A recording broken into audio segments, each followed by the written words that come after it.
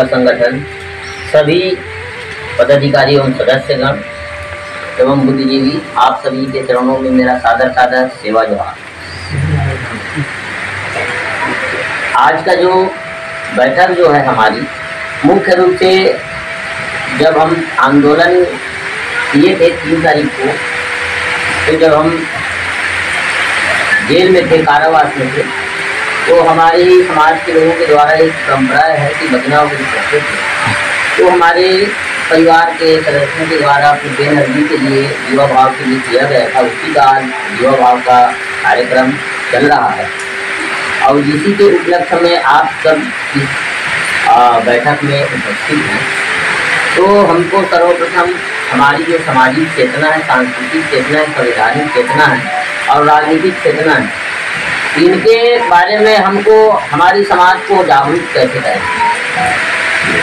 सबसे पहली ये बात। हम अगर हमारी समाज को दादा मरकाम हमेशा कहता था कि सत्ता हर ताला की, सत्ता वो चाबी है जो हर ताला को खोल सकता है।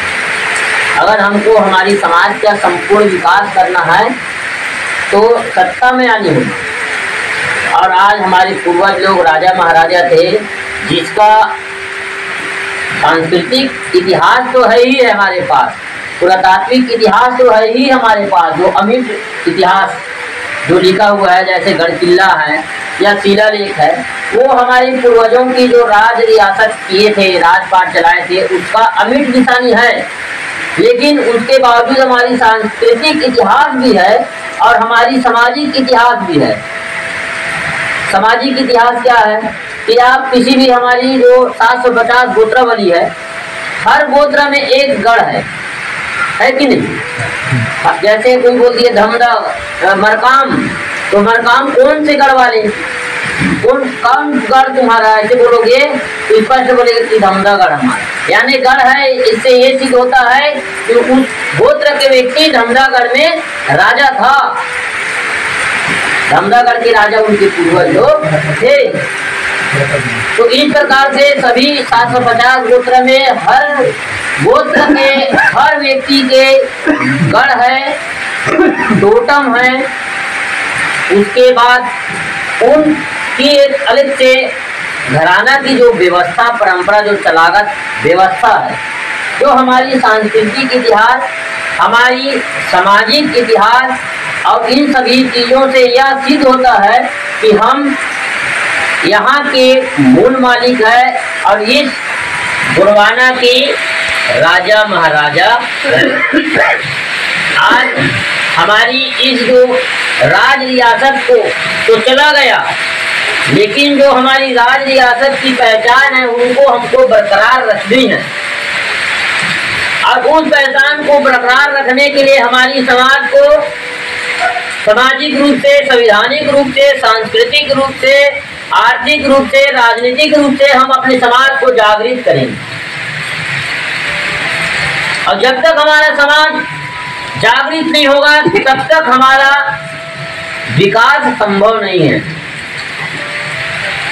आज आप देख रहे हैं, सोशल मीडिया में, चाहे मीडिया में हो, देख रहे हो भारत देश की प्रस्तावना को जो अनुच्छेद एक है, उनको बदलने की बात चल रही है। हिंदू राष्ट्र बनाने की बात चल रही है। कॉमन कोर्ट बिल लाने की बात चल रही है कि समान, एक यह भारत देश में सब हो, चाहे हिंदू हो, चाहे मुस्लिम हो, चाहे सिख हो, चाहे ईसाई हो, चाहे बौद्ध हो, चाहे जैन हो, चाहे आदिवासी हो, चाहे कोई भी हो, सब एक समान कानून लागू होगा। समान नागरिक संहिता आने वाला है। उसके बाद इस देश का नाम बदल, बदलने वाला है। इंडिया जो है, इंडिया दैट इज़ भारत लिखा है। यानी इंडिया का मतलब ही भारत ऐसे लिखा उसको हिंदी नहीं होनी चाहिए, अंग्रेज़ी नहीं होनी चाहिए, हिंदी होनी चाहिए कह रही है।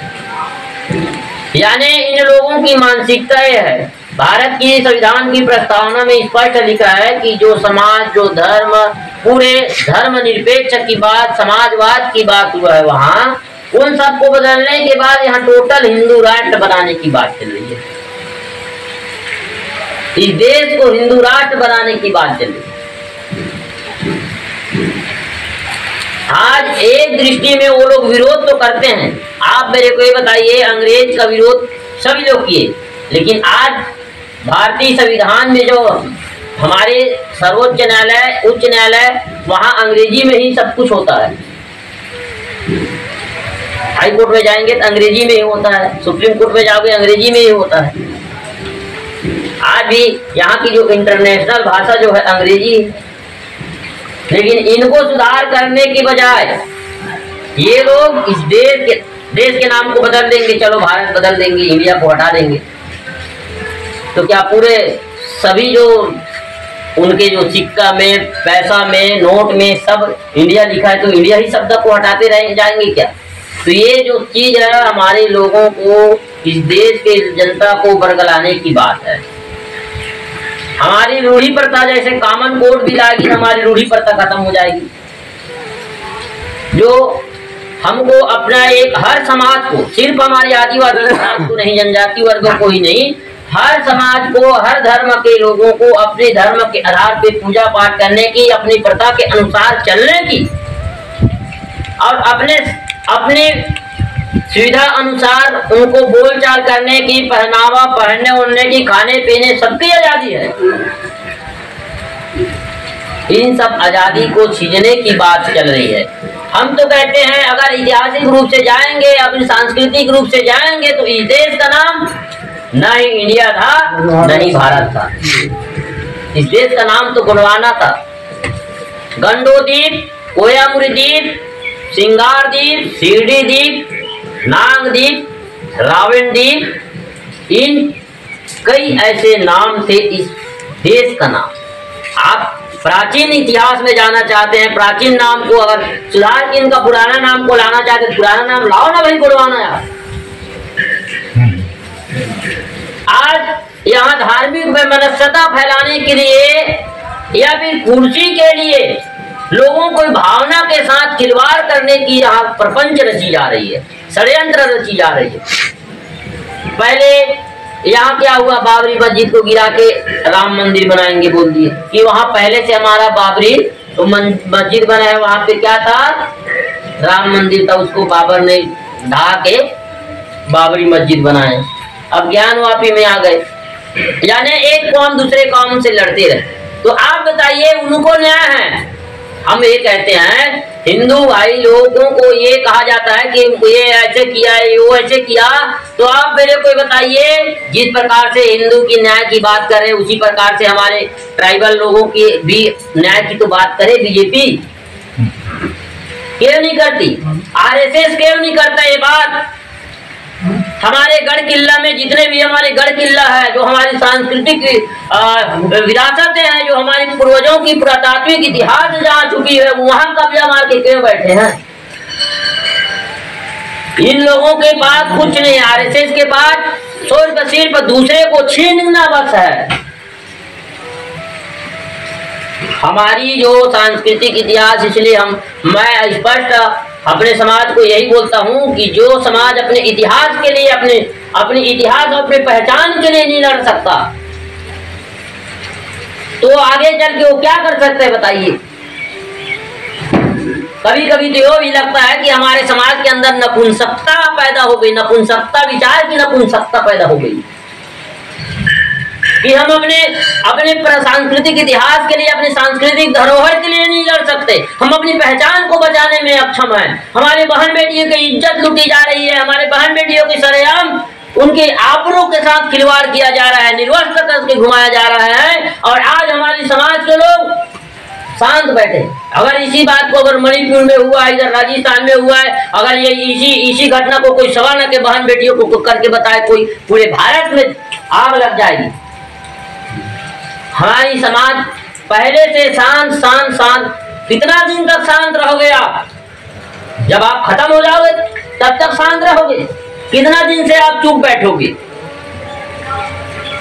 तो अगर आप लोगों को, हमारी समाज को अपनी पहचान बचानी है तो अब शांत रहने का समय नहीं है। ज़्यादा दिन तक आप शांत रहे तो उस शांति को कायरता का नाम दिया जाएगा, नपुंसकता का नाम दिया जाएगा। कि ये लोग कायर है, नपुंसक है जी इस प्रकार से सरेआम इनकी बहन बेटियों की इज़्ज़त को नीलाम किया जा रहा है और इनके समाज के लोग चुप बैठे तो इसलिए हमें अपने समाज की, सांस्कृतिक इतिहास को, उसके सामाजिक इतिहास को, उसके राजनीतिक इतिहास को हमको पुनः पढ़ानी पड़ेगी। हमको हमारी इतिहास जो हमारी पूर्वजों ने लिख के गया है, बना के गया है, उसको हमको कायम रखनी होगी। इसलिए हमको आर और पार की लड़ाई लड़नी होगी। छीन के लेंगे अपना हक।